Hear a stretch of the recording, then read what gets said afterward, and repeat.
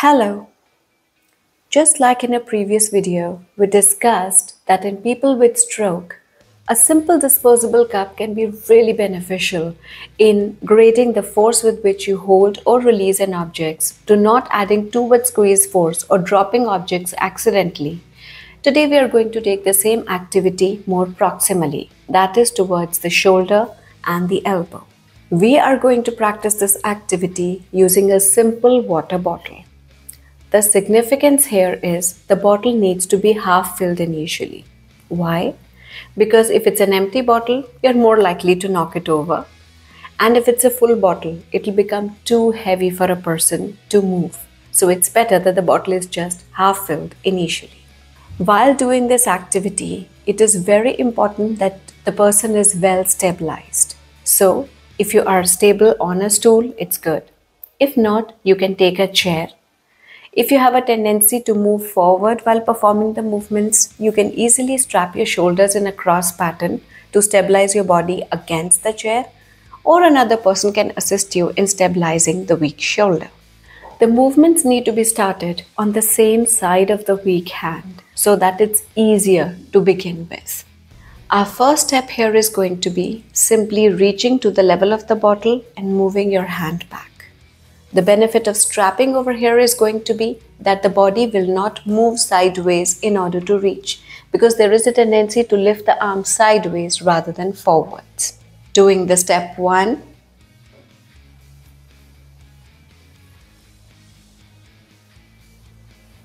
Once you can reach the bottle, step 2 is going to be reaching on either side of the bottle.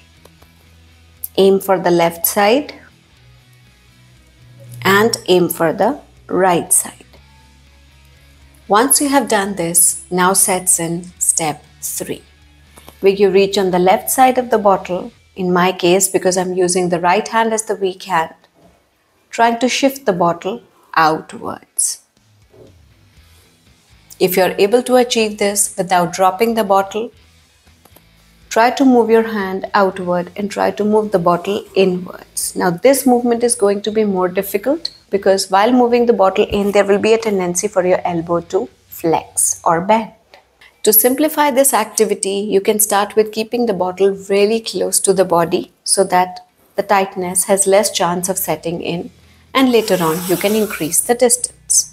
Keeping the bottle close to the body also has a benefit that you can exclusively perform elbow movements over here.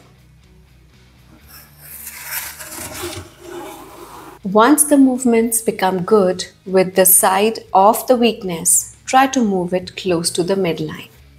Start with the same movement, trying to reach for the bottle in the midline. Try to relax your shoulder as much as possible See, if I try to movement, do the movement first, there is an elevation of the shoulder.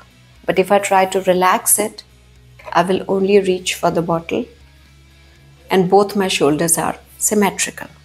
In the midline position, try to move the bottle forward in as straight a path as possible. And that is why I have kept three surfaces over here, orange, red and blue. I've created a sort of red path in the middle so that I know that my bottle only has to move in the red area, not the blue or the orange area. The most difficult movement that is going to be is trying to move the bottle across the midline because this is one movement that is nearly absent or is very hard to practice because either the elbow will bend or the shoulder tends to move up sideways.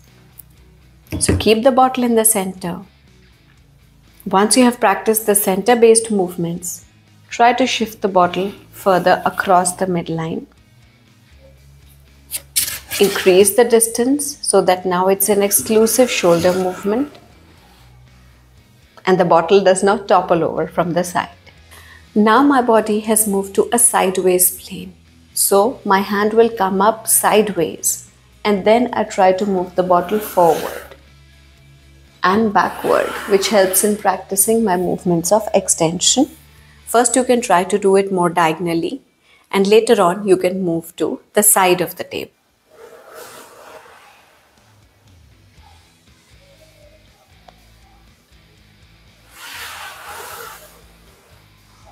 The final movement to be practiced is the rotations of the arm.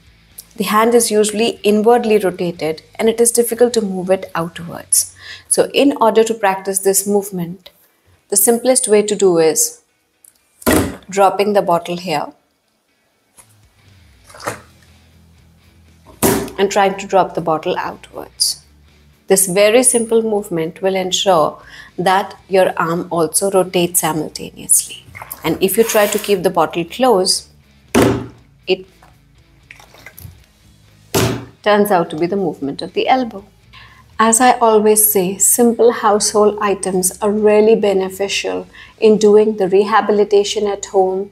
They provide you with the target, we call it target based therapy, task specific training so you know what you are aiming at, what you want to achieve. And if you know that goal in your head, it is way easier for you to practice the movements and become independent in your daily skills. Let me know if you gained something from this video, then please leave a like Subscribe to the channel for more videos like this and also leave your suggestions for any other queries or challenges that you are facing in your daily routine. I will be glad to address this on this channel. We'll meet again soon.